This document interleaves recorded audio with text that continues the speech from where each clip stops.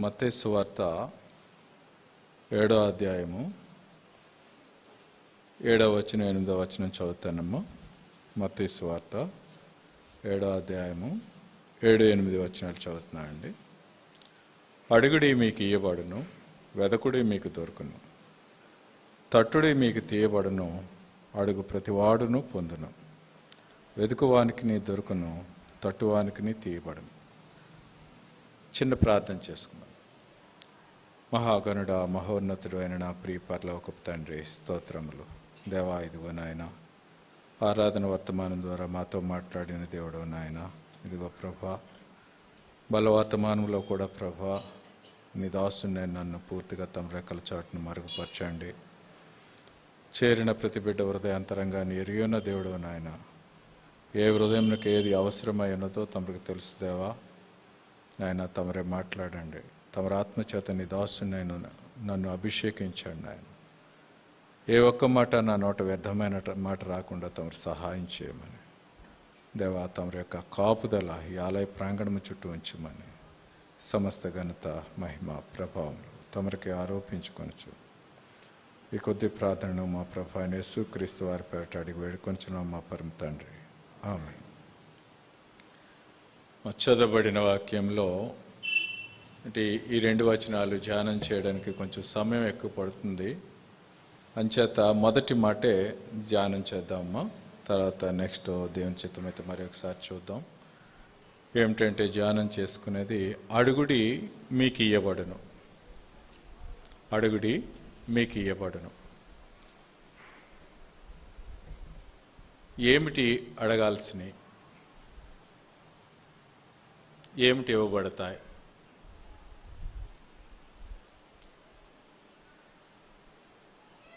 అడిగే స్థలం ఎక్కడ? ఎక్కడ అడగాలి ప్రభుని ఎక్కడ అడుగుతామమ్మా మందిరంలో అడుగుతామా ఇంట్లో అడుగుతామా ఎక్కడ అడుగుతాం అడిగే స్థలం ప్రార్థన. మీరు ఎక్కడైనా సరే పొలంలో పని చేసుకుంటున్నప్పుడు ప్రార్థన చేసుకోవచ్చు ఇంట్లో ఉన్నప్పుడు ప్రార్థన చేసుకోవచ్చు. మందిర ఆవరణంలోకి వచ్చినప్పుడు కూడా ప్రార్థన. ఏదే ఏది ఏమైనప్పటికీ అడిగే స్థలము మాత్రం ప్రార్థన. అడుగుడి అని దేవుడు సెలవిస్తున్నారు. ప్రభు ఆయన యేసుక్రీస్తు వారి మాటలు ఇది. కొండ మీద ప్రసంగం. ఐదో అధ్యాయం ఆరో అధ్యాయం ఏడో అధ్యాయం అంతా కొండ మీద ప్రసంగం ఇది. చాలా విలువ కలిగిన మాటలు. మన జీవితానికి అన్వయించుకోదగిన మాటలు ఇవన్నీ. ఏం అడగమంటున్నారు ప్రభు? మనం ఏం అడుగుతున్నాం? అసలు అడగాల్సినవి ఏంటో మనకు తెలుసా? తెలియక ఏదో వ్యర్థమైనది అడుగుతున్నామా? ఒకసారి మనం చూసుకున్నట్లయితే అడుగుడి అన్నప్పుడు అడగాల్సినవి రెండు రకాలుగా మనకి దేవుడు చూపిస్తున్నారు. ఏమిటంటే అది ఒకటి శారీరక సంబంధమైనవి. అనగా భూ సంబంధమైనవి. శారీరక సంబంధమైనవి లేక భూ సంబంధమైనవి. ఇది మొదటి రకం. రెండవది ఏమిటంటే ఆత్మ సంబంధమైనవి లేదా పరలోక సంబంధమైనవి. అడుగుడి అని సెలవిస్తున్నారు కాబట్టి దేవుడు మనం ఈ రెండు రకాలుగా అడుగుతున్నాం. శారీరక సంబంధమైనవి ఆత్మ సంబంధమైనవి. ఇయ్యబడినని సెలవిస్తున్నారు దేవుడు. మనం పొందుకుంటున్నామా లేదా? అడుగుతున్నాం పొందుకుంటున్నామా లేదా? పొందుకోలేకపోతే ఎందుకు పొందుకోలేకపోతున్నాం? ఒకసారి చూద్దాము. అడుగుడి మీకు ఇవ్వబడిన అంటే అడగమని దేవుడు సెలవిస్తున్నారు కాబట్టి మొదటిగా శారీరక సంబంధమైన విషయాలు అనగా భూ సంబంధమైన విషయాలు మనం చూసుకున్నట్లయితే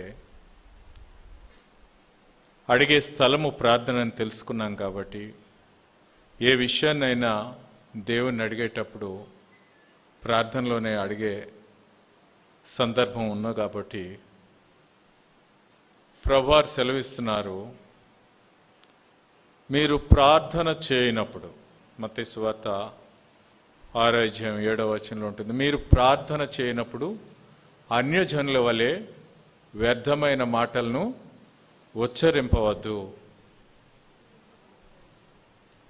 వారు హృదయాల్లో విస్తరించి మాట్లాడినట్లయితే దొరుకుతుందని వారి హృదయాల్లో తలంచుకుంటున్నారు. అన్యజనులు ప్రభు అయిన క్రీస్ వారు సెలవిచ్చే మాట ఇది అన్యజనుల వల్లే మీరు అడగొద్దు అంటున్నారు. అన్ని జనులు ప్రార్థన చేస్తారా? మీరు ప్రార్థన చేయనప్పుడు అన్యజనుల వల్లే మీరు అడగవద్దు అంటున్నారు ఆయన. వాళ్ళు ఏం చేస్తున్నారట? విస్తరించి మాట్లాడుతున్నారట. మాకు దేవుని దగ్గర దొరుకుతుందని తలంచి. అంటే తప్పుడు ఉద్దేశంతో ఉన్నారు. అసలు అన్యజనులు ఎవరు?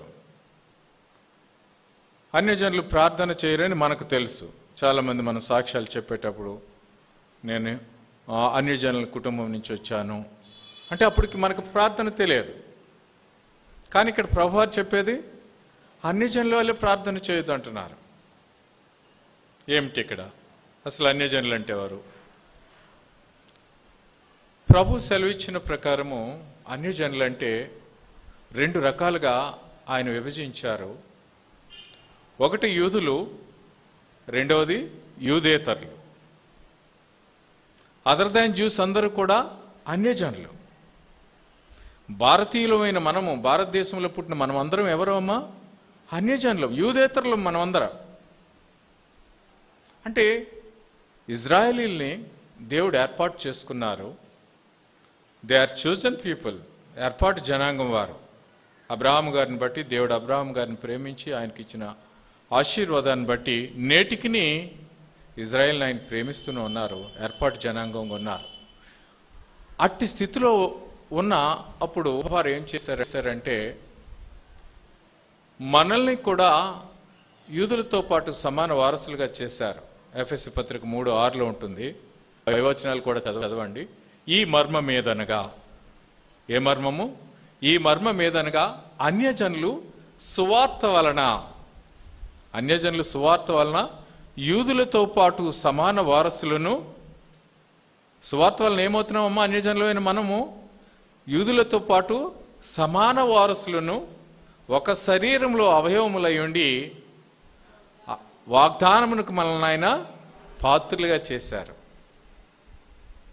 అంటే ప్రభు అయిన యేసు క్రీస్తు వారి ఈ రక్షణ సువార్త లేకపోతే ఈ కృపా సువార్త ఈ సత్య సువార్త ఈ నిత్య సువార్త ఎప్పుడైతే వింటున్నామో అన్యజనులమైన వారందరూ కూడా అంటే సువార్తను విన్న ప్రతి అన్యజనుడు ఏమవుతున్నారమ్మ ఇక్కడ? యూదులతో పాటు సమాన వారసులు అవుతున్నాం. దేవుడు అబ్రహాము గారికి చేసిన వాగ్దానములో మనము పాలిభాగస్థులం అవుతున్నాం పాలివారం అవుతున్నాం. కానీ ఇంకా ఆక్యుపై చేసుకోలేదు ఆ వాగ్దానాన్ని. ప్రభు అయిన యేసుక్రీస్తు వారు ఇక్కడ సెలవు ఇచ్చే మాట ఏంటంటే అన్యజనుల వల్లే మీరు వ్యర్థమైన మాటలు ప్రార్థనలో ఉచ్చరింపవద్దు. అంటే సువార్తను వినిన తర్వాత అన్యజనులమైన మనము కూడా యూదులతో పాటు సమాన వారసులం అయ్యాం కానీ సువార్త విన్నవారందరూ రక్షించబడ్డారండి? నో. సువార్త వినినంత మాత్రాన రక్షణ లేదు అందరికీ. అటువంటి రక్షణ లేని వ్యక్తులతో ప్రభువారు సెలవిస్తున్నారు ఇక్కడ. అంటే రక్షించబడిన మీరు మనము రక్షించబడని అంటే సువార్త సువార్తను వినుట ద్వారా అన్యజనులైన వ్యక్తులు యూదులతో పాటు సమాన వారసులు అయితే అయ్యారు. కానీ రక్షణ లేనందున వారు ఇంకా ఏమీ పొందుకోలేదండి?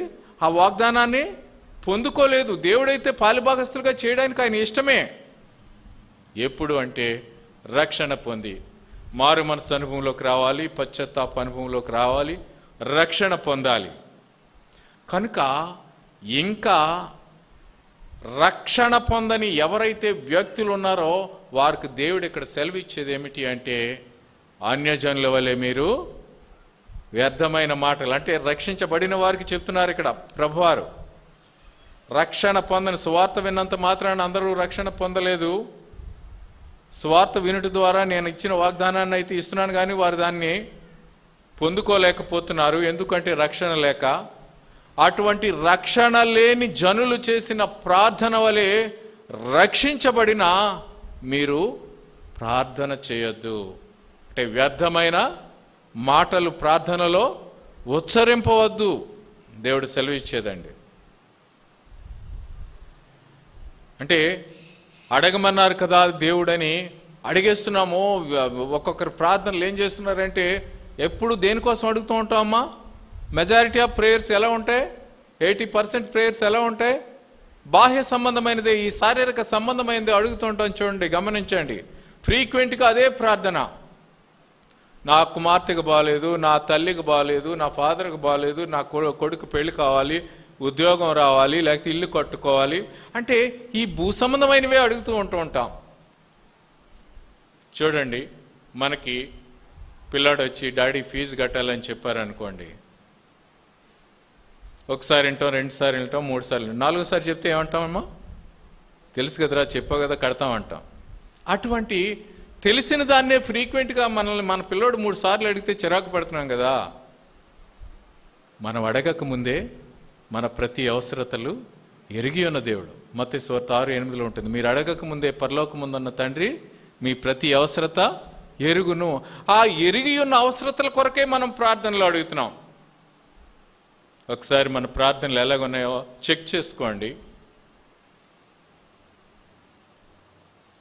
అంటే భూ సంబంధమైనవే అస్తమానం అడుగుతున్నాం ప్రభువుని అంటే వ్యర్థమైన మాటలు దేవుడు వచ్చింపవద్దు అంటున్నాడు. ఎందుకంటే జాగ్రత్తగా చేయాలి ప్రార్థన ఎప్పుడు కూడా. తెలియక ఏదో వ్యర్థమైన మాటలు మనం ఉచ్చరిస్తూ ఉంటున్నాం. ప్రసంగి గ్రంథంలో ఉంటుంది ఐదో అధ్యాయం రెండో వచనంలో ఉంటుంది. మీరు దేవుని సన్నిధికి వచ్చినప్పుడు అనాలోచితంగా మాట్లాడవద్దు.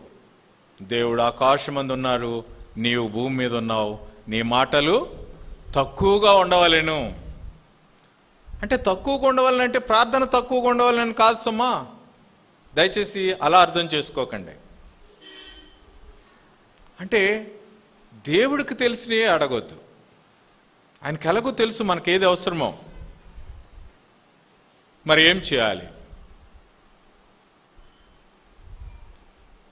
తిమోతి గారు రాసిన పత్రికలో ఉంటుంది. మొదటి పత్రికలో రెండో అధ్యాయం ఒకటి రెండు మూడు వచనాలు ఉంటుంది. మనము సంపూర్ణ భక్తియు మాన్యతయు కలిగి సుఖముగాను నెమ్మదిగాను బ్రతుకు నిమిత్తము.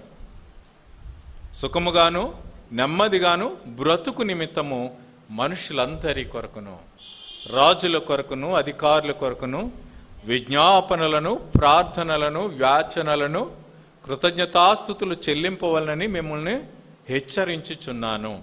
మూడవ వచనం ఉంటుంది. ఇది మంచిదియు మన రక్షకుడునైన యేసుక్రీస్తు వారికి అంటే మన దేవుని మన ప్రభు అయిన మన ప్రియ రక్షకుడికి అనుకూలమైనది ఉన్నది ఆయనకి ఇష్టమై ఉన్నది. ఎవరి కోసం చేయాలమ్మా? ఎవరి కోసం చేయాలమ్మా ప్రార్థన? రాజుల కొరకు మనుషులందరి కొరకు రాజుల కొరకు అధికారుల కొరకు. అంటే అక్కడ మూడు క్యాడర్స్ ఇస్తున్నారు చూడండి. మనుషులందరి కొరకు. మీరు మనుషులందరి కొరకు ప్రార్థన ఎత్తుకుని చేయండి. మీ ఇంటి పొరుగున ఉన్న వారి దగ్గర నుంచి మీ గ్రామంలో ఉన్న వారి కొరకు మీ గ్రామంలో అయిపోతే మీ పక్క హెడ్ క్వార్టర్లో ఉన్న వారి కొరకు జిల్లా హెడ్ క్వార్టర్ స్టేట్ కొరకు అవుతుందండి ప్రార్థన ఎప్పటికైనా? అవర్స్ టుగెదర్ డేస్ టుగెదర్ వస్తుందండి. గంటల తరబడి ప్రార్థన చేయొచ్చు. రోజుల తరబడి ప్రార్థన చేయొచ్చు. భక్తులు దినమెల్లా ప్రార్థన చేస్తూ ఉంటూ ఉంటారు. అంటే నాకు తెలియదు కానీ అన్న భక్త్ సింగ్ గారు డేస్ టుగెదర్ ప్రార్థన చేస్తూ ఉండారు దేనికో ఎంత వస్తుంది ఆ ప్రార్థన? ఎందుకు వస్తుంది ఆ ప్రార్థన? ఆయన కోసం ఏమి అడుక్కోరు ఆయన? ఎందుకంటే ప్రార్థన తెలిసిన వ్యక్తి ఆయన. దేవుణ్ణి ఏం అడగాలో తెలుసు. శారీరక సంబంధం అడగాల్సిన అవసరం లేదని ఆయనకి తెలుసు. రక్షించబడిన మనకి కూడా తెలుసు. పరిశుద్ధులైన వారందరికీ తెలుసు. అంచేత దేవుడు ఏదైతే సెలవు ఇచ్చారో ఆయనకు అనుకూలమైంది. ఆయనకి ఇష్టమైనది మనుషులందరి కొరకు ప్రార్థన. రాజుల కొరకు ప్రార్థన అధికారుల కొరకు ప్రార్థన. ఈ ప్రార్థన మనం మొదలు పెడితే ఆయనకి ఇష్టమైన ప్రార్థన ఇంకా అది ఎప్పటికీ తరగదండి. సుమారు ఏడు వందల యాభై కోట్ల మంది కోసం ప్రార్థన చేయాలి. ఈ లోకంలో ఉన్నవారు. రెండు వేల పదకొండు సెన్సస్ చూసుకుంటే ఏడు వందల యాభై కోట్ల జనాభా ఉన్నారు. కనుక ఆయనకి ఇష్టమైనది మనం అడగాలి. కొంతమంది అంటే నేను విన్నాను బోధకులు చెప్పేది అంటే టీవీలో వాళ్ళు అడగండి దేవుడు ఇస్తాడు మీకు ఏది కావాలో అది అడగండి. మంచిది అడగమంటే మంచిదే తప్పేం లేదు. అడగడం తప్పని కూడా నేను అన్నాను అడగండి మీకు దేవుడు ఇస్తాడు. వీళ్ళు ఏం చేస్తారు అంటే అంటే ఒక యొక్క దైవజనుని యొక్క ఆత్మీయ స్థితిని దేన్ని బట్టి తెలుసుకుంటామా? వారి క్రియలను బట్టి. రెండో కొరింది పత్రికలో చూపిస్తూ ఉంటారు ఎనిమిదో అధ్యాయం తొమ్మిదో వచనం చూపిస్తూ ఉంటారు. ఏసుక్రీస్తు వారి కృపను మీరు ఎరుగుదురు కదా? ఆయన ధనవంతుడై ఉండి తన దారిద్ర్యం వలన మనల్ని ధనవంతుడిగా చేయడానికి ఈ లోకానికి వచ్చారు ఆయన. ఈ వాక్యం చూపిస్తారండి. మీరు కూడా ఎన్నే ఉంటారు టీవీలో ఓపెన్ చేసి ఉంటే అంటే వారి పేర్లు అయితే నేను చెప్పను కానీ ఆ వారిని విమర్శించడానికి నేను ఏపాటి వాడిని కాదని నేను ఒప్పుకుంటున్నాను. కానీ వాక్యాన్ని మన జీవితానికి అన్వయి చేసుకోవాలి కాబట్టి ఎవరో ఏదో చెప్పేస్తే మనం నమ్మకూడదు. ఏమి నమ్మాలమ్మా? వాక్యాన్నే నమ్మాలి. ప్రతి విషయాన్ని కూడా ప్రభు అయిన యేసుక్రీస్తు వారి యొద్దే నేర్చుకోవాలి. నేను మీ యొద్ద నేర్చుకునేది లేదు మీ- నా యొద్ద మీరు నేర్చుకునేది లేదు. ఎందుకంటే ప్రభువారే సెలవిస్తున్నారు. మత స్వార్థ పదకొండు ఇరవై ఎనిమిది ఇరవై తొమ్మిది వచ్చిన ఆయన ఏమంటున్నారంటే నేను సాత్వికుడును దీన మనసు గలవాడును. మీరు నా కాడిని మీ భుజములు ఎదుర్కొని ప్రతి విషయాన్ని నా యొద్ద నేర్చుకొనిడి. మీరైనా నేనైనా ఎవరమైనా ప్రభు ఆయన యేసుక్రీస్తు వారి యొద్దే నేర్చుకోవాలి. అప్పుడే ఆయన మనకి మన జీవితాలకు అర్థమయ్యేటట్టుగా బోధించే ఆయన ఆయన. మంచి బోధకుడు ఆయన. ఆయన యొద్ద తప్ప ఎవరి దగ్గర నేర్చుకోలేం. ఆయన యొద్ద నేర్చుకోవాలంటే ఇదిగో పరిశుద్ధ గ్రంథాన్ని ప్రతి వారి చేతిలో ఉంచారు. ప్రభువారి ఆయన వాక్యాన్ని ఆయన వాక్కులు మన ముందు ఉంచినప్పుడు చిన్న ప్రార్థన చేసుకుని మనం మొదలు పెడితే ఆయనే ఆ వాక్యాన్ని అర్థమయ్యేటట్టు మనకు చేస్తారు. ఆయన సహాయం చేస్తే తప్ప ఎన్ని రిఫరెన్స్ గ్రంథాలు చూసుకున్నా కానీ అర్థం అవ్వదు. అర్థం కాదు బోధించలేం. మన జీవితానికి అన్వయించుకోలేం. అంటే రెండో కొరింది పత్రిక ఎనిమిది తొమ్మిదిలో ఉన్నది ఏంటంటే ఆయన ధనవంతుడై ఉండి తన దారిద్ర్యం వల్ల మనం ధనవంతులు కావాలనని ఆయన దరిద్రుడు ఆయను. ఇప్పుడు ధనం అంటే ఎక్కడుందమ్మా? ఏది ధనం? ఇది అర్థం చేసుకోవాలి. అంటే తెలియక కొంతమంది చెప్తుంటే ధనం కోసమే అడుగుతున్నాం ఎక్కువగా. ఈ భూ సంబంధమైన దానికోసమే మనం ఎక్కువగా అడుగుతున్నాం. పాపకు మంచి భర్త కావాలన్నా కుమారుడికి మంచి కుమార్తె కావాలన్నా లేకపోతే మంచి ఉద్యోగాలు కావాలన్నా ఇంటర్ని ఇదంతా దేనికి నడిపిస్తుందమ్మా? టు ఎర్న్ మనీ ధన సంపాదన కొరకే. అంటే ఆయన ధనవంతుడై ఉండి ప్రభు ఆయన యేసుక్రీస్తు వారు ధనవంతుడు. ఎక్కడమ్మా ఆయన ధనవంతుడు? ఎక్కడమ్మా? అమ్మా? పరలోకమందు. ఆయన ధనవంతుడయ్యండి పరలోకమందు ధనవంతుడయ్యండి మనము ధనవంతులు కావాలని ఆయన ఏం చేశాడమ్మా? ఆయన ఈ దారిద్ర్యాన్ని తీసుకున్నాడు. భూలోకానికి అంటే ఈ భూలోకంలో ఉన్నది ధనమా దారిద్ర్యమా? అమ్మా? దరిద్రం దారిద్ర్యం ఇది. మనం ధనవంతులు కావాలనని. ఎప్పుడు ధనవంతులు అవుతామా ఆయన వాక్యమును విని రక్షణ పొందిన తర్వాత మన యొక్క ఆయుష్ ముగించబడిన తర్వాత ఆ మహిమలోకి వెళ్తాం చూడండి. అప్పుడు నిజమైన ధనవంతులం. కానీ అనేక మంది అబద్ధ బోధకులు ఈ రోజున ప్రభువారు మనల్ని ధనవంతులు చేయాలని ఆ మాటే తీసుకుంటారు. రెండోది ఇంకా వారు ఆలోచించరు.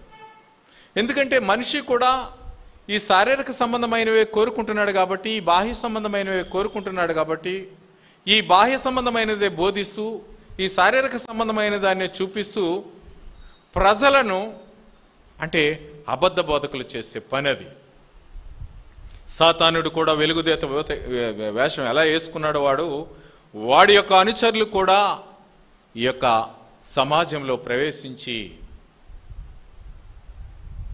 రాంగ్ ప్రీచింగ్స్ ఇవ్వడం వలన విశ్వాసికి వాక్యం తెలియక చదువుకునే జ్ఞానం ఉన్నది బాగా చదువుకున్నారు దేవుడిచ్చిన జ్ఞానమును బట్టి కానీ పరిశుద్ధ గ్రంథాన్ని పరిశీలన చేసి తెలుసుకోలేక అబద్ధ బోధకులు చెప్పేది వినేస్తూ ఉంటారు. అంటే పరలోకమే ధనము ఇక్కడ ధనము కాదని ఎందుకు అంటున్నాము? అది కూడా గమనించాలి. ఇప్పుడు చూడండి మన ఇంట్లో రోజు న్యూస్ పేపర్ వేయించుకుంటూ ఉంటాం. దాన్ని మనం ఆస్తిగా పరిగణిస్తామండి? ఆస్తిగా చెప్పుకుంటామా? చెప్పుకోం కదా? వేస్ట్ అది. ఎప్పటికప్పుడు రద్దుకు అమ్మేస్తాం అట్లనే ఈ లోకము కూడా ఆస్తి కాదని ఎందుకు అంటున్నానంటే ఒకనొక దినానికి ఈ భూమి ఏం కాబోతుందమ్మా? లయమైపోతుంది. పేతురు గారు రాసిన రెండో పత్రిక మూడు పదిలో ఉంటుంది ప్రభు రాకడ ఆ దినమందు ఈ భూమి ఆకాశాలు లయమైపోతాయి. ఈ పంచభూతాలు మహావేండ్రంతో లయమైపోతాయి భూమి అంతా కాలిపోతుంది. అంచేత ఇది దరిద్రం అని చెప్తున్నాను. ఈ భూమి నిలిచేది కాదు. ప్రకటన గ్రంథం ఇరవై అధ్యాయం పదకొండవ వచనంలో అయితే మరియు ధవళమైన సింహాసనములు ఆయన ఆసీనుడు ఉన్నప్పుడు ఆయన సముఖం నుండి ఈ భూమి ఆకాశములు పారిపోయినాయి. నిలువు చోటు కనబడకపోయింది వాటికి. ఈ శూన్యంలో ఉన్న ఇవి ఈ ఆకాశం భూమి మనకు పైన చూస్తే అంతా శూన్యమే కింద మనకి ఇంకా కనిపించదు కాబట్టి వీటికి నిలబడడానికి చోటు లేదట. ఈ ఎక్కడికి పారిపోయినాయో చూడండి. ఇంత విశ్వాసంలో ఇంత విశ్వంలో ఈ శూన్యంలో ఉన్న ఇవి ఎలాడదీయబడి ఈ గ్రహాలన్నీ కూడా కనిపించకుండా పోతాయట. ఈ కనిపించకుండా పోయే దాని మీద మనం సంపాదించుకోవడానికి అడగండి దేవుణ్ణి అడగండి దేవుణ్ణి అంటే భూ సంబంధమైన అడిగితే అది దారిద్ర్యంలోకి పోతున్నాం మనం. ప్రభాన్ యేసుక్రీస్తు వారు మనల్ని ఆ దారిద్ర్యంలో నెట్టడానికి కాదు ఆయన వచ్చింది ఈ లోకానికి. ఈ దారిద్ర్యం నుంచి మనల్ని ధనవంతులుగా చేయడానికి. ధనవంతులుగా చేయడానికంటే ఆ పరలోక రాజ్యం ఎలా ఉండబోతుందమ్మా? మన కొరకు దేవుడు చేసిన నూతనమైన ఎరుసలేం పట్టణాన్ని దేవుడు వర్ణిస్తూ ఉంటారు. ప్రకటన గ్రంథం ఇరవై ఒకటో అధ్యాయంలో. ఆ యొక్క రోడ్లు ఎలా ఉంటాయంటే ఒక మచ్చుకు చూసుకుంటే ప్రకటన గ్రంథం ఇరవై ఒకటో అధ్యాయం ఇరవై ఒకటో వచ్చిన రెండో లైన్లో ఉంటుందండి. ఆ పట్టణపు రాజవీధి శుద్ధ సువర్ణమయమై స్ఫటికమును పోలినది. అంటే ప్యూర్ గోల్డ్. చదువుతారమ్మా రెండో లైను? పట్టణపు రాజవీధి శుద్ధ సువర్ణం అంటే అమ్మా మేలిమి బంగారం రాగి కలవనది ఇది. Pure gold twenty four carat అంటున్నాం చూడండి. శుద్ధ సువర్ణమయమై అంటే అక్కడున్న వీధులు ఎలా రాజు వీధులు అండి అసలు ఇక్కడ మనకు ముక్కులు ఉన్నది మెళ్ళ ఉన్నది ఇదే బంగారు ఇదే ఆస్తి అని అనుకుంటూ ఉంటాం. బంగారపు రాజవీధిని పోల్చుకుంటే ఇది ఎందుకన్నా పనిచేస్తుందమ్మా ఏది పనిచేయదు అంటే మన కోసము దేవుడు నిర్మించిన ఆ నూతనమైన ఎరుసలేము పట్టడమే అంత అలా ఉంటే ఆయన నివాసం ఉండేది ఎలా ఉంటుందో చూడండి. అటువంటి ధనాన్ని విడిచిపెట్టి ఆయన. తండ్రి అయిన దేవునితో విడిచిపెట్టకూడని మహాభాగ్యమని ఎంచుకొనకుండా ఆయన ఈ లోకానికి దరిద్రానికి వచ్చాడు. ఎందుకంటే మనల్ని ధనవంతులుగా చేయడానికి ఏమిటి ఆ ధనం అంటే పరలోక ధనము. ఈ భూ సంబంధమైన ధనమని దానితో కంపేర్ చేసుకోకుండా అమ్మ ఇప్పుడు కూడా. తెలియక ఒకవేళ ఎవరైనా బోధించినప్పటికీ తెలుసున్న వారిగా మనము ఆ మాటలను మనం తీసుకోకూడదు పరిగణలోకి తీసుకోకూడదు. మనం దరిద్రంలో జీవిస్తున్నాం. ఎక్కడ ఎంత కోటీశ్వరులైనా బిల్ గేట్స్ అయినా లేకపోతే పప్పెట్ అయినా ఎవరైనా ప్రపంచ నెంబర్ వన్ ఆస్తిపరులైనా ఒకనొకప్పుడుకి అది చెడిపోయేది ఇది. ఈ భూ సంబంధమైంది. దీనికోసం ఆరాటపడకూడదు దీనికోసం అడగాల్సిన పని లేదు మనం ప్రభువారిని. అడుగుడి అంటే దేవుణ్ణి ఎల్లప్పుడూ కూడా ఈ శారీరక సంబంధమైంది ఈ బాహ్య సంబంధమైంది మనము అడుగుతున్నాం. దాన్ని అడగాల్సిన పని లేదు. అంటే మనం అడగక ముందే మన అవసరతలు ఎరిగి ఉన్న దేవుడు అది ఇస్తున్నారు ఆయన. కనుక ప్రభువారు ఏం సెలవిస్తున్నారంటే లోకస్ వార్తలో పన్నెండు అధ్యాయం ముప్పై మూడో వచనంలో ఉంటుంది. ఈ భూ సంబంధమైన ధనానికి ఏం పడుతుంది అంటున్నాడు ఆమె ఆయన? పడుతుంది దొంగ పడుతూ ఉంటాడు. పరలోకముకు సంబంధమైన అక్షయమైన ఆ ధనమును సంపాదించుకోండి. అక్షయమైన ధనాన్ని సంపాదించుకోమని ప్రభువారు సెలవిస్తున్నారమ్మ కనుక భూ సంబంధమైనది మనం అడగాల్సిన అవసరం లేదు. ఎందుకంటే దేవుడు గొప్ప వాగ్దానాన్ని మనకు ఇస్తున్నాడు ఆయన. ఎబ్రి పత్రికలో పదమూడో అధ్యాయం ఐదో వచనంలో ఆయన సెలవిస్తూ ఉంటారు నిన్ను ఏమాత్రము విడువను నిన్నెన్నడను ఎడబాయను. అంతకుముందు మాట ఏంటండి?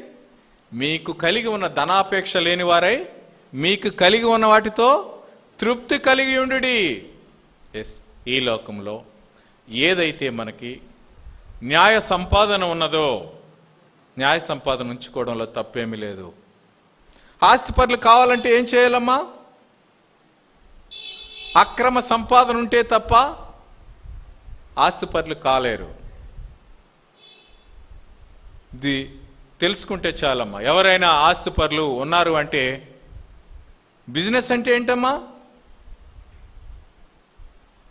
Without that cheating there is no business అంటే న్యాయముగా వ్యాపారం చేసినట్లయితే ప్రభు ఆయన యేసుక్రీస్తు వారి ఎందు రక్షణ పొందిన బిడ్డ వ్యాపారం చేస్తున్నాడంటే ఆయన దగ్గర ఏముండదమ్మా? అన్యాయం ఉండదు. ఆయనకి రావాల్సిన జీతాన్ని దాని మీద సంపాదించుకుంటాడు బ్రతుకు తెరువు కోసం. ఆర్ అదర్వైజ్ వేరే రక్షణ పొందని లేకపోతే దేవుని ఎరగని వ్యక్తి వ్యాపారం చేస్తే ఏం చేస్తారమ్మా? వేరే రకపు తూనికరాళ్ళు పెట్టుకుంటాడు. మోసం ఉంటుంది. కనుక దేవుడు ఏం చేస్తున్నారంటే ఈ లోక ధనమందు మీరు ఆశ కలిగి ఉండొద్దు. నీ ధనం ఎక్కడ ఉండునో నీ ప్రాణము కూడా నీ హృదయం కూడా అక్కడే ఉండను. కనుక మన వెంట రాని ఈ ధనము కోసం అత్తమాలి ప్రభుని కంటే శారీరక సంబంధమైనది మనం అడగక ముందు ఆయన తెలుసు అని అంటున్నాడు. కానీ మన ప్రార్థనలో తెలియక అంటే నేను ఇంతకుముందు ఫోర్ ఇయర్స్ బ్యాక్ లోదరన్ బ్రాటప్ ఆటలకి వెళ్ళేవాడిని. అత్తమాలి ప్రార్థనలో ఈ లెంటి డేస్ అని అన్నారు చూడండి మన బుధవారం నుంచి లెంటి డేస్ అనుకుంటాను. ఆ బుధవారం నుంచి ప్రార్థనలు ఏంటంటే ఉపవాస ప్రార్థన చేస్తారు. పిల్లలు పరీక్షల కోసం చేస్తారండి. పిల్లల పరీక్షలు. లేకపోతే పెళ్ళిళ్ళ కోసం చేస్తారు. లేకపోతే ఉద్యోగాల కోసం చేస్తారు. లేకపోతే ఇల్లు కట్టుకోవాలని చేస్తారు. రక్షించబడ్డామా అని అనుకున్న వాళ్ళని కూడా ఓ సిస్టర్ గారిని చూశాను ఎంప్లాయ్ రక్షించబడ్డవారు అని అనుకో ఓ సంవత్సరం పాటు ఎన్వి మానేసిందట ఎందుకమ్మా అంటే ఇల్లు కట్టుకునే వరకు ఇప్పుడు మాంసం తిన్నన్నా అన్నారు. అయ్యో. అటు చూసారా? దుష్టుడు ఎలా మోసం చేస్తూ ఉంటాడో. ఏది అడగాలో మనకు తెలియడం లేదు. అడుగుడు ఇవ్వబడి అంటే దుష్టుని బోధకు మనము ఆకర్షితమై ఆకర్షితులం అయిపోతున్నాం. భూ సంబంధమైన వాటిని దేవుణ్ణి అడుగుతున్నాం. మీరే కాదు నేను కూడా అంతే. ఈ మాటలు చెప్పడానికి నేను కూడా ఏమాత్రం అర్హుణ్ణి కాదు. ఎందుకంటే నేను భూ సంబంధమైన వాటి కొరకే ప్రభువుని అడుగుతూ ఉంటూ ఉంటాను. ఇన్ని చెప్పిన నేను కూడా ఎందుకంటే నా బలహీనత. మన బలహీనతలు ఎరిగిన దేవుడు ఆయన.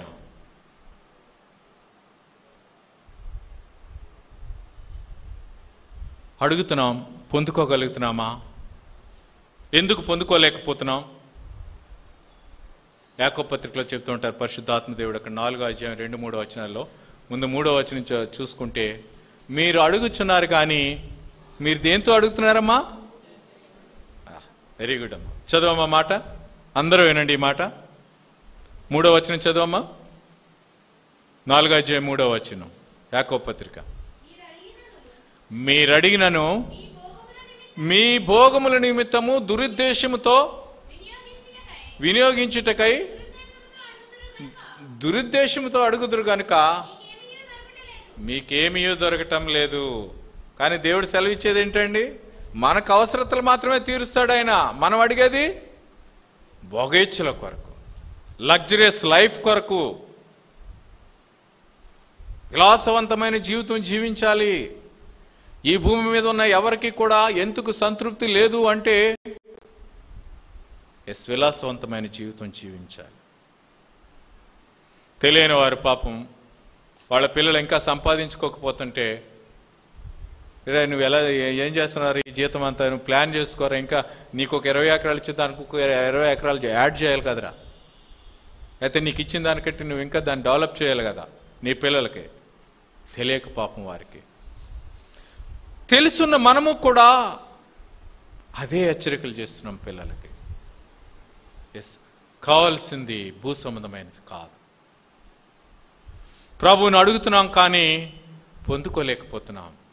ఎందుకు అంటే ఆ పై వచనంలో రెండో వచనం అంటారు లాస్ట్ మాటలో వాళ్ళు మీరు పో- పోరాడుతున్నారు యుద్ధాలు చేస్తున్నారు ఏ- ఏ చేసినా కానీ మీరు సంపాదించుకోలేకపోతున్నారు. ఎందుకంటే మీరు దేవునిని అడగనందునంటూనే అడిగినా కానీ మీరు మూడవ వచనంకి వచ్చేటప్పటికి మీరు భోగముల నిమిత్తము. దురుద్దేశంతో దేవుణ్ణి అడుగుతున్నారు. అవసరత అడిగితే పర్వాలేదు. అవసరత అడగకపోయినా నేను ఇస్తానని సెలవిచ్చుచున్న దేవుడు. కానీ మనం అడిగేది ఎలా ఉంది అంటే అడగమన్నారు కదా అని అడుగుడి ఇయ్యబడును అనే మాటకి ఆయనకి ఇష్టముగా అంతా అడుగుతున్నాం. ఆయన చాలా బాధపడుతూ ఉంటారు. మనమే మన పిల్లలు మనల్ని రెండు మూడు సార్లు బట్టలు కుట్టించు డాడీ లేకపోతే అది అని అడిగితే ఎంత చిరాకు పడతామో పిల్లల మీద? మన దేవుడు మన మీద చిరాకు పడరండి మన పరమతండ్రి మన మీద చిరాకు పడరా? మనలందరినీ ఆయన కుమారులుగా కుమార్తెలుగా స్వీకరించుచున్న ఆయన తెలుసున్న నాకు ఎందుకయ్యా మీరు నన్ను అడుగుతారు? ఎన్నో చోట్ల పరిశుద్ధ గ్రంథంలో రాయించాను కదా హృదయాల్ని అంతరంగాల్ని పరిశోధించే దేవుణ్ణి నేనని. ఎందుకు మీరు నన్ను అస్తమన్నది అడుగుతారని బాధపడరా ఆయన? తెలియక అడిగిందే అడుగుతున్నాం ప్రార్థనలో. బాహ్య సంబంధమైందే అడుగుతున్నాం. భూ సంబంధమైందే అడుగుతున్నాం. అంటే అడగాల్సింది బాహ్య సంబంధమైంది. మనం ఎంత అడిగినప్పటికీ ఆయన ఏమిస్తున్నారండి మనకి? పిలిపి పత్రికలో ఉంటుంది పరిశుద్ధాత్మ దేవుడు తెలియజేసిన ప్రకారం నాలుగో జయంతో పంతొమ్మిదో వచనంలో దేవుడు తన మహదైశ్వర్యము చొప్పున క్రీస్తు యేసునందు మహిమలో మన ప్రతి ఏంటమ్మా? అవసరమే తీర్చునైనా కోరికలు కాదండి తీర్చేది దేవుడు. మనం కోరికలు కలిగి కోరికలు అడుగుతున్నాం ప్రభువారిని ప్రార్థనలో ఈ బాహ్య సంబంధమైన ప్రార్థన చేసేటప్పటికి అది ఏమైపోతుందంటే వ్యర్థమైన ప్రార్థన అయిపోతుంది. వ్యర్థమైన ప్రార్థన. అందుకనే ప్రభువారు మొదటే మనతో ఏం మాట్లాడారమ్మా? మీరు ప్రార్థన చేయనప్పుడు అన్యజనుల వలె వ్యర్థమైన మాటలు ఉచ్చరింపవద్దు. వాళ్ళు ఏం ఆలోచిస్తున్నారట ఏం తలుస్తున్నారట? అధికముగా మాట్లాడటం వల్ల అంటే అధికంగా ప్రార్థన చేస్తే దేవుడు నాకు ఇచ్చేస్తారు. చూసారా? మనం అడగాల్సింది ఏదో ముందు మనకు తెలియడం లేదు. తెలియక ఏదో అడుగుతున్నాం. ఇక మొదటి రంగ రెండు రకాలను అనుకున్నాం కాబట్టి దేవుణ్ణి అడిగేవి. ఒకటి శారీరక సంబంధమైనవి రెండవ ఆత్మ సంబంధమైనవి. శారీరక సంబంధమైన కొన్ని చూస్తాం రెండో విషయానికి పోతే ఆత్మ సంబంధమైనవి. ఆత్మ సంబంధమైనవి మనం ఏం అడగాల ఆయన్ని? ఆరు ఎనిమిదిలో మత సువార్త ఆరు ఎనిమిదిలో ఆయన మీరు అడగక ముందే మీ ప్రతి అవసర పరలోక ముందున్న తండ్రికి తెలుసని చెప్పిన దేవుడే అదే అధ్యాయం ముప్పై మూడో వచనంలో ఏం చెప్తున్నారంటే మొదట ఆయన రాజ్యమును ఆయన నీతిని వెదకండి. అప్పుడు అవన్నీ మీకు అనుగ్రహింపబడును. ఆ ప్రయోజనాలు చూసుకుంటే ఏం తిందునా ఏం త్రాగునా ఏం ధరించుకుందునని వాటి కొరకు ఆలోచన చేయొద్దంటూ సెలవిస్తుంటారు ప్రభువారు. అంటే శారీరక సంబంధమైన దానికోసం మీరేమి ఆలోచన చేసుకోకండమ్మా. అంత దేవునికి తెలుసు పరమందున్న దేవునికి తెలుసు అని సెలవిస్తూనే ప్రభువారు అక్కడ మనకు హెచ్చరిక చేసేది ఏమిటంటే మొదట ఆయన రాజ్యమును నీతిని వెదకండి. ఏమిటి ఆయన రాజ్యము? దేవుని రాజ్య సువార్త ప్రకటించడానికి ఆయన ఏకైక కుమారుడైన అద్వితీయ కుమారుడైన మన ప్రియరక్షకుడైన మన ప్రభు అయిన యేసుక్రీస్తు వారి లోకానికి వచ్చారు. ఏమిటి ఆయన రాజ్యం అనేది? ఆయన సువార్తలో మనకన్నీ తెలియచేశారు. కనుక ఆ రాజ్యం ప్రవేశం చేయాలి అంటే ఏదైతే ఆయన మనకు సెలవు ఇచ్చారో వాక్యం ద్వారా వాటన్నిటిని మనం వెంబడించాలి. ఆయన నీతిని వెదకాలి. ఇది ఆత్మ సంబంధమైనవి ఇవి. అలాగే ప్రభువారు సెలవిస్తూ ఉంటున్నారు. మీకు ఏది ఇష్టమో అది అడగమంటున్నారు. చాయిస్ ఈజ్ జోర్స్ అంటున్నారు ఇక్కడ. యాహాన్ స్వార్థ పదిహేను ఏడో వచనంలో ఎప్పుడు నా యందు మీరును మీ యందు నా మాటలను నిలిచిన ఎడలా మీకేది ఇష్టమో అది అడుగుడి. బా ఇక్కడ టోటల్గా ఇచ్చేసారండి ప్రభువారు. ఏది ఇష్టమైన ఇస్తానంటున్నారు ఇక్కడ. ఎప్పుడమ్మా? నా యందు మీరును మీ అందు నా మాటలను నిలిచి ఉండి నేడల. అమ్మా నీ స్థాయిని బట్టి నా స్థాయిని బట్టి ప్రభువుని ఏం అడగగలం? స్థాయి అంటే అర్థం ఏంటో అర్థమైందా? స్థాయి అంటే ఎందుకన్నా నా మాట అర్థమైందా? వేరే ఉద్దేశం కాదమ్మ ఇక్కడ. నా యందు మీరును మీ యందు నా మాటలు నిలిచిండ అంటే ఆయన మాటలు మన యందు ఏ స్థాయిలో ఉన్నాయి? ఏ స్థాయిలో ఉన్నాయి? అంటే ఆయన మాటలు అంటే ఏంటమ్మా? ఈ వాక్యమే ఆయన మాటలు. పరిశుద్ధ గ్రంథంలో ఉన్న ప్రతి మాట ఆయనదే. ఎన్ని మాటలు నిలిచి ఉన్నాయి? ఫ్రాంక్గా చెప్పండి అమ్మా అంటే కంఠస్థం ఎంతమందికి వచ్చు కంఠస్థ వాక్యాలు ఎవరు చెప్తారమ్మా? సంఘాలలో? అమ్మా? చిన్నపిల్లలకు వచ్చి వాళ్ళే అర్హులు దేవుణ్ణి అడగడానికి. మీరు నేను అర్హులమా? మరి ఎందుకు అడుగుతున్నావు? యేసుక్రీస్తు ప్రభు వారు మనకి వెరీ ఫ్రాంక్గా మాట్లాడుతున్నారు ఇక్కడ. మీరు అడుగుతున్నారు కదా మంచిది అడగండి మీకు ఏది ఇష్టమో అది అడగండి నేను ఇచ్చేస్తాను. కానీ మీరు నా ఎందు ఉండండి నా మాటలు మీ అందు ఉండాలి. ఎన్ని మాటలు ఉన్నాయి ఆయన మాటలు. చూడకుండా ఎన్ని వచనాలు చెప్పగలరు? చూడకుండా ఎన్ని అధ్యాయాలు అప్పచెప్పగలరు? ఎప్పుడైనా ప్రశ్నించుకున్నామండి ఆ స్థాయంతో మనం తెలుసుకొని ప్రభువుని అడగడానికి ఇష్టపడాలి. టోటల్గా అంత ఇచ్చేస్తాను అంటున్నారు ఇక్కడ. ఏమన్నా చదవమా పదిహేను ఏడు? దాంట్లో ఏమన్నా తప్పుగా ఏం మాట్లాడట్లేదు కదా ప్రభు వారు అక్కడ? వేరే మా- పెడార్థంతో ఏం మాట్లాడలేదు కదా ఆయన అక్కడ? నా యందు మీరును మీ అందు నా మాటలను నిలిచి ఉండి ఎడలా. ఇక దీంట్లో అర్థం కాకపోయింది ఏముందండి? ఎంత మాటలు ఉన్నాయి మనలో ఆయన అసలు రిఫరెన్స్ చెప్తుంటేనే మనం తీయలేకపోతున్నాం కదా. ఇంకా ఆయన మాటలు మనలో ఏం నిలిచి ఉన్నట్టు?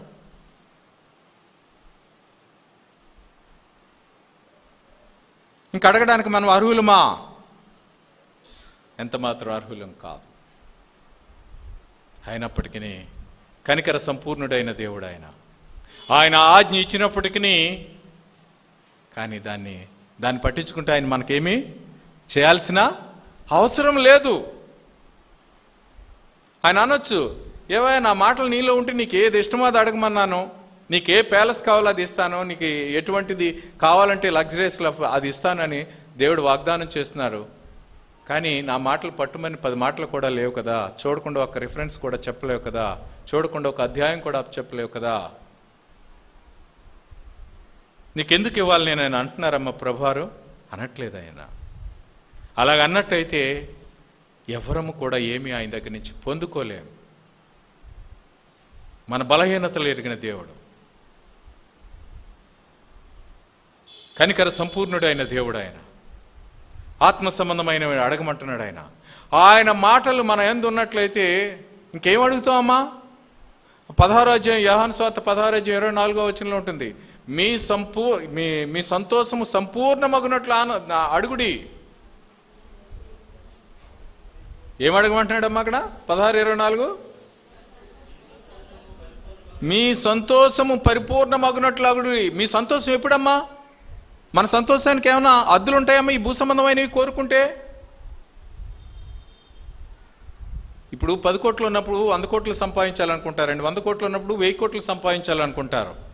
ఈ రోజున అంబానీ ఉన్నారు. రిలయన్స్ అంబానీ. ఆయనకి ఏమైనా తక్కువ? ఆయన ఇంకా ఏం అమ్ముకుంటున్నాడు? పచ్చిమిరకాయలు కూడా అమ్ముకుంటున్నారు కదా ఆయన? అంటే తృప్తి లేదు ఈ భూమి మీద. బాహ్య సంబంధమైనవి మీకు ఎంత ఇచ్చినా నాకెంత ఇచ్చినా దెర్ ఇస్ నో సాటిస్ఫాక్షన్ దేవుడికి తెలుసు ఆ విషయం. బిల్గేట్స్కి ఏం తక్కువ? ఇంకా వ్యాపారాలు చేసుకుంటున్నారు. అంటే వాళ్ళ దగ్గర వాళ్ళ కోరిక ఏంటంటే నేను నెంబర్ వన్ టాప్గా ఉండాలని. అంటే బిలియనీర్లో నెంబర్ వన్గా ఉండాలని బిలియన్ టాప్ టెన్లో ఉండాలని బిలియనీర్స్ టాప్ హండ్రెడ్లో ఒకటిగా ఉండాలని. అంటే రిచ్ మ్యాన్ యొక్క కోరికలు అవి. అందుకనే దేవుని మాటలు మన ఎందు నిల్చుంటే ఇంకేం అడుగుతామా భూ సంబంధమైనవి ఇంకా అడగమండి. భూ సంబంధమైనవి అడగం. ఆయన మాటలు మన ఎందు నిలిచి ఉంటే భూ సంబంధమైనవి అడగం. ఆత్మ సంబంధమైనది కోరుకుంటూ దేవా ఇక ఎంతకాలం నాయన రక్షించబడిన వారి కోరిక ఏమిటండి? ప్రభు మహిళకి ఎప్పుడు చేరుకోవాలని? లేదా నశించిపోతున్న వారి కొరకు బాధ కలుగుతూ దేవా ఇంకా ఒక్క ఆత్మను కూడా నేను తమ మార్గంలోనికి తీసుకుని రాలేకపోతున్నానే? పరిచర్యతో కూడిన భారం బాధతో కూడిన భారము దాన్ని హృదయంలో సంతోషించే బోధకులు దాని అందు ఆనందించే పరిశుద్ధులు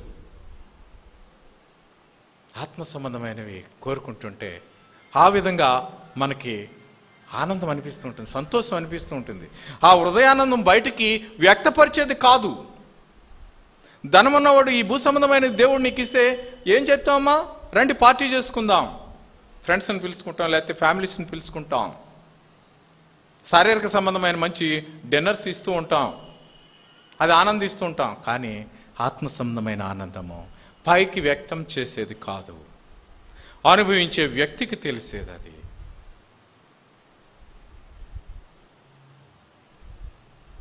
అలాగే దేవుడు సెలవిస్తున్నారు. కీర్తన గ్రంథం పన్నెండు ఐదులో ఉంటుంది. రక్షణ కోరుకొని వారికి నేను రక్షణ ఇస్తాను. ఎంతమంది రక్షణ కోరుకుంటున్నాం? ఆత్మ సంబంధమైంది. రక్షణ కోరుకునే వారికి నేను రక్షణ ఇస్తాను. ఎంతసేపు పిల్లల చదువు పిల్లల ఉద్యోగాలు లేకపోతే వీటిని అడుగుతున్నాం కానీ అప్పుడప్పుడు ఎప్పుడైనా గుర్తొచ్చినప్పుడు రక్షణ కోసం మాట్లాడుతూ ఉంటాం. మొదట అంతా అడిగేస్తాం చివరిలో మాత్రం నా బిడ్డలకు రక్షణ కూడా ఇవ్వండి. అది లీస్ట్ ప్రియారిటీ. టాప్ ప్రయారిటీ శారీరక సంబంధమైనవి మన ప్రార్థనలో ఆలోచన చేయండి అమ్మా మీరు ఒకసారి జ్ఞాపకం చేసుకుని లేకపోతే సాయంత్రం ప్రార్థన చేసుకునేటప్పటికి ఈ మాటలు గుర్తు చేసుకోండి ఒకసారి. ముందుగా మన హృదయాల్లో వాక్యం నిలిచి ఉండాలమ్మా. వాక్యం నిలిచి లేకపోతే దుష్టుడు మనల్ని పడగొడతాడు. బాహ్య సంబంధమైనవే వాడు ఎప్పుడు చూపిస్తూ ఉంటాడు. ఆత్మ సంబంధమైన దాన్నే మనకి దేవుడు ఇష్టపడుతున్నాడు ఇవ్వడానికి. రక్షణ కోరుకునే వారికి దీనికేం డబ్బు పే చేయాల్సిన అవసరం లేదు. ద ఫ్రీ ఆఫ్ కాస్ట్ ఆత్మ సంబంధమైంది ఇది. అలాగే ప్రభు అయిన యేసుక్రీస్తు వారు సెలవిస్తున్నారు. లోకాసు వార్తలు ఉంటుంది పదకొండవ అధ్యాయం పదమూడవ వచనము. అడుగు అడుగుడు ఇవ్వబడిన అనే దానికి అక్కడ చెప్తూ మీరు అడగండి తండ్రిని తన త- తండ్రిని అడుగు వారికి ఎంతో నిశ్చయముగా పరిశుద్ధాత్మనిచ్చాను. ఎంతమంది అడుగుతున్నామండి పరిశుద్ధాత్మని? గుండెల మీద చేసుకుని చెప్పండి. ప్రార్థనలో మనము పరిశుద్ధాత్మను అడుగుతున్నామా? ఒకసారి చదువమ్మది పదకొండు పదమూడు లోక స్వార్త. పరలోకమందున్న మీ తండ్రి తన్ని అడుగువారికి ఎంతో నిశ్చయముగా. పరిశుద్ధాత్మని ఇస్తారండి ఎంతో నిశ్చయముగా. There is no doubt at all మీరు నాకు బండి కావాలి లేకపోతే కారు కావాలని అడుగుతుంటే పొందుకోలేకపోతున్నారు. ఎంత కాలం నుంచి అయినా ఎందుకంటే మీరు భోగముల నిమిత్తం అది అడుగుతున్నారు కాబట్టి దేవుడు ఏమనని వాక్యం ద్వారానే మనకు సెలవు ఇచ్చారు. కానీ ఇక్కడ హండ్రెడ్కి హండ్రెడ్ అండ్ ఫిఫ్టీ పర్సెంట్ కూడా ఆయన ప్రామిస్ చేస్తున్నారు. ఏమని అంటే తండ్రిని అడగండి పరిశుద్ధాత్మను ఎంతో నిశ్చయముగా ఇస్తారు. ఆత్మ సంబంధమైనది. పరిశుద్ధాత్మను కోరుకోవాలండి. పరిశుద్ధాత్మను కోరుకునే వ్యక్తులు కూడా ఉన్నారు. దాన్ని కూడా రాంగ్ వేలో తీసుకుపోతున్నారు. మనకి పరిశుద్ధ గ్రంథంలోనే ఉంటుంది. అపోసుల కార్యాలు ఎనిమిదో అధ్యాయంలో కనిపిస్తూ ఉంటాడు. ఒక అతను గారడీ చేయి సియోనా? సీమోను. గారడీ చేయి సీమోను. అతడు నమ్మి బాప్తీసం పొందినవాడే. కానీ ఎప్పుడైతే అపోస్తులు చేపెట్టి ప్రార్థన చేస్తే పరిశుద్ధాత్మ దిగుతుందో ఆ అపోస్తుల ముందు- ముందు ద్రవ్యం పెట్టి ఆ పరిశుద్ధాత్మ వరమును నాకు కూడా ఇవ్వండి. అంటే కొనుక్కో చూశాడు ఇక్కడ. ఇతను కూడా ఎవరు? నమ్మి బాప్తిసం పొందినవాడే. అక్కడ పదో వచ్చినమ్మా పదమూడో వచ్చిన ఉంటుంది చూడండి. ఎనిమిది పది నమ్మి బాప్తిసం పొందినవాడే అని ఉంటుంది చూడండి. అప్పుడు సీమాను కూడా నమ్మి బాప్తిసం పొంది చాలమ్మ. అంటే పిలుపు దేవుని యొక్క పరిశుద్ధుడు. అపోస్తులుడు. అతను వెంబడిస్తూ నమ్మి బాప్తీసం పొంది ఆ స్థితిలో కొండ ఉండి కూడా ఇతను ఏం కోరుకుంటున్నాడమ్మా? బాహ్య సంబంధమైనది. ధన సంపాదన కొరకు నేను ఎవరు చే తల మీద చేయబెడితే వారికి ఈ మహిమలు జరిగిపోవాలి. వారి యొద్ నుంచి నేను ద్రవ్యం సంపాదించాలి. ఆ మధ్య ఒక ఏడెనిమిది సంవత్సరాల క్రితం ఎప్పుడు ఒకసారి టీవీ పెడితే చూ చూశాను. నేను టీవీ కూడా చూడని ఈ వాక్యాలు. ప పదివేలు కడితే మీకు పరిశుద్ధాత్మని ట్రాన్స్ఫర్ చేస్తానంటున్నాడు ఆయన. బా ఎంత దౌర్భాగ్యం అండి. అమ్మా ఎక్కువగా స్త్రీలు ఇంతకుముందు సీరియల్స్ చూసేవారు ఇప్పుడు టీవీ వాక్యం పెట్టుకుని ఆన్ చేసుకుని ఇంటూ ఉంటున్నారు పనులు చేసుకుంటాం అన్నీ వెనకండి అమ్మా. దుష్టుడు నలభై ఐదు నిమిషాలు వాక్యం చెప్తే నలభై నాలుగు నిమిషాలు బ్రహ్మాండంగా అంత వాక్యమే చెప్తాడు. నలభై ఐదో నిమిషాలు కొడతాడు ఎక్కడో చోట. That's enough. భూ సంబంధమైన చూపిస్తాడు. గారడి చేసి సూమ సీమను కూడా గారడి విద్యను వదిలిపెట్టి దేవునిలోకి వచ్చాడు నమ్మి బాప్తీసం పొందాడు. అయినప్పటికీ అతను ద్రవ్యం వైపే ఉంది మనసంతా. శారీరక సంబంధమైన దానికోసం అడుగుతున్నాడు.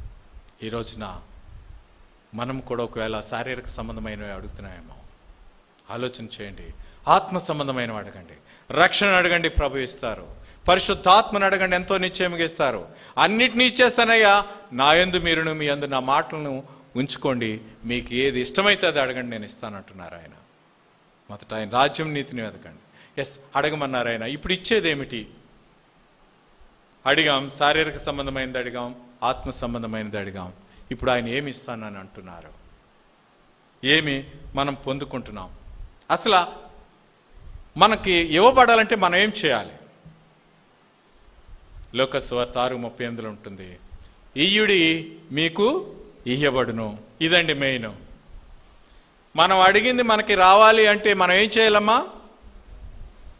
చదవమ్మా మా వచనం రెండో మాట మీరు క్షమించుడి ఆయన ఆయన చేత క్షమించబడతారు. ఇయ్యుడి అప్పుడు మీకు ఇయ్య ఆ మాట చదవమ్మా. తర్వాత మాట చదవమ్మా. ఇయ్యుడి ఎప్పుడు ఇవ్వబడుతుందమ్మా మనకి? మనం ఇస్తే ఇవ్వబడుతుంది. ప్రభు అయిన యేసుక్రీస్తు వారు సెలవు ఇచ్చింది ఇదే పుచ్చుకొనుట కంటే ఇచ్చుట ధాన్యం. అపస్సుల కార్యాలు ఇరవై ముప్పై ఐదులో ఉంటుంది. పుచ్చుకొనుట కంటే ఇచ్చుట ధాన్యం. పుచ్చుకోవాలని చూడకండి. ఇవ్వడం నేర్చుకోండి. అప్పుడు దేవుడు మనకిస్తాడు. ఇయ్యుడి అప్పుడు మీకు ఇవ్వడును. మనం ఏది ఎవరికి ఇచ్చేది లేదు. ఇక దేవుడు మనకెందుకు ఇస్తారమ్మా? మనం ఈనప్పుడు ఇంకా అడగకూడదు కూడా. ఈయుడి అప్పుడు మీకు ఇయ్యబడును. దేవుడు ఎంత ఖచ్చితంగా చెప్తున్నాడు. మన జీవితంలో దేవునికి ఇవ్వాల్సినవి ఏదో వాటిని ఇవ్వడం మానివేయకండి. దేవునికి ఇవ్వాల్సినవి ఇచ్చేదే. అంటే ఆయనకేదో పేదవాడని కాదు. సమస్త భూమి నాదే అంటున్నాడు పంతొమ్మిది అధ్యాయ నిర్గమాకాండం ఆరో వచనంలో. సమస్త భూమి నాదే. ఆయనకి ఇచ్చేది ఏమిటి మనం? అయినప్పటికీ ఆయన మన యొక్క విశ్వాసాన్ని టెస్ట్ చేయడానికి ఏమంటున్నారు అంటే సామెతల గ్రంథం మూడో అధ్యాయంలో ఉంటుంది తొమ్మిది పది వచనాల్లో. నీ రాబడి అంతటిలో ప్రథమ ఫలమును. ఏమంటున్నారమ్మా? నీ రాబడి అంతటిలో ప్రథమ ఫలమును నీ ఆస్తిలో భాగమునిచ్చి యహోవాను గనపరచుము అప్పుడు నీ యొక్క ధాన్యపు కొట్లు ఎలా ఉంటాయమ్మా? నిండిపోతాయి. నీ గానులు కొత్త ద్రాక్షారసంతో పొర్లి పారుతాయి ఇయ్యుడి మీకు ఇయ్యబడిన అంటే ఇవ్వడం నేర్చుకోండి అప్పుడు మనం పొందుకుంటాం. మనం దేవుడిని అడిగేస్తున్నాం నాకు ఇది ఇది అది అని అడిగేస్తున్నాం కానీ ఎందుకు పొందుకోలేకపోతున్నామంటే ఇచ్చే అవసరత ఇచ్చే అలవాటు మనకు లేదు.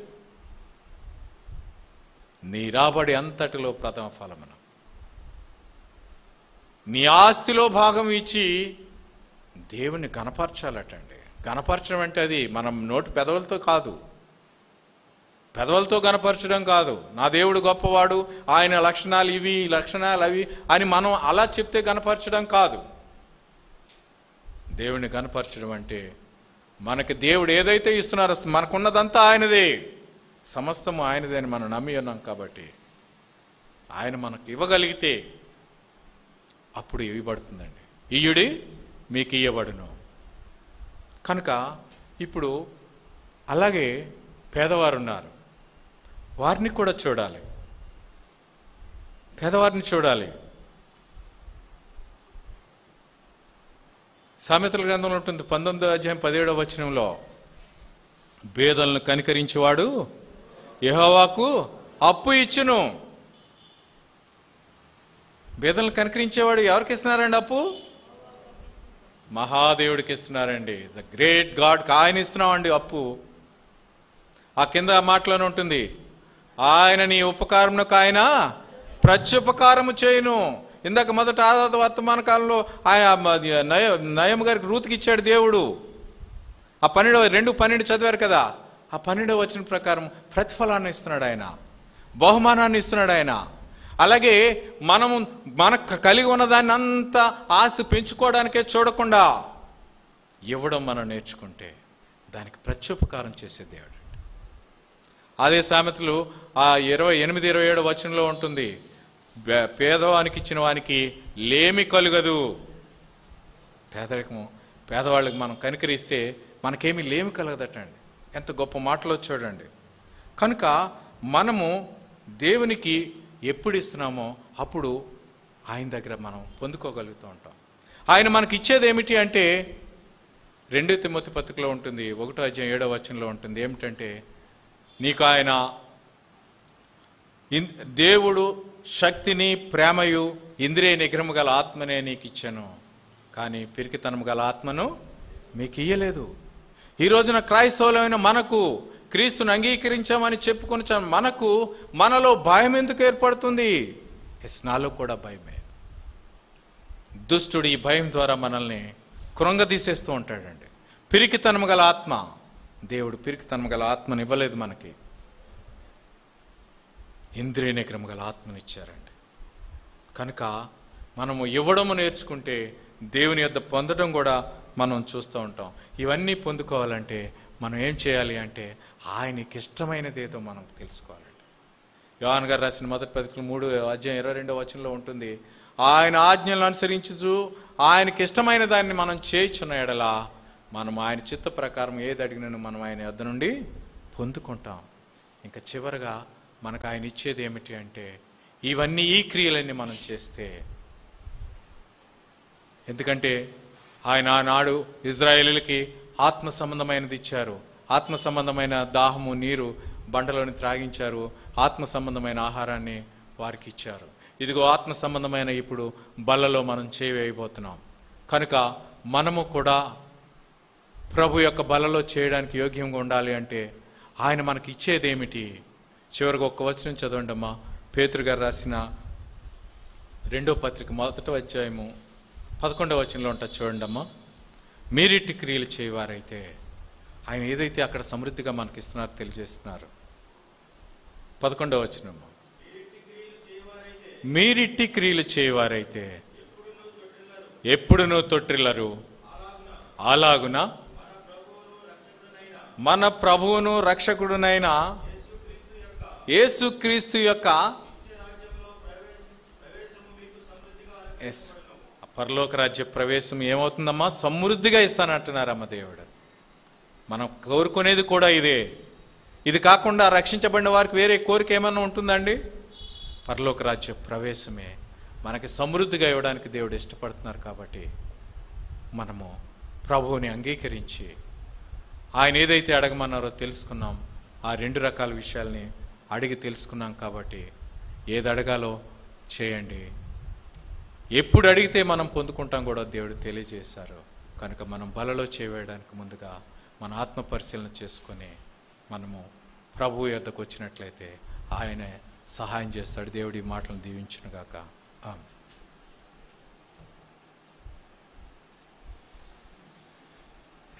దయచేసి మోకరించి ప్రార్థన చేసుకుందాం. పరిశుద్ధాత్మ దేవుడు మనతో మాట్లాడిన విషయాలను బట్టి దయచేసి జ్ఞాపకం చేసుకుందాం ప్రభుకు సమర్పించుకుందాం. శరీర సంబంధమైనవి ఆత్మ సంబంధమైనవి. ఏవి మనం అడుగుతున్నామో ఏవి అడగాలో అటువంటి వివేచన విశ్వాసులమైనటువంటి మనం కలిగి ఉండాలి. వివేచనతో అడగాలి. ఏవి ఉత్తమమైనవో ఏవి ఖ్యాతి గలవో ఏవి రమ్యమైనవో వాటిని మనం కోరుకునే వాటిగా ఉండాలి.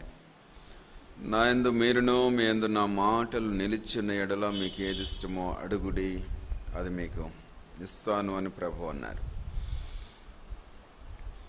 దేవుని మాటలు నిలిచుండే వారంగా ఉండాలి. అప్పుడే ఏది అడగాలో కూడా మనకు అర్థమవుతుంది. దేని కొరకు ప్రార్థన చేయాలో మనకు అర్థమవుతుంది. దేన్ని పొందుకోవాలో మనకు అర్థమవుతుంది. మనం ఇస్తేనే మీకు ఇవ్వబడును.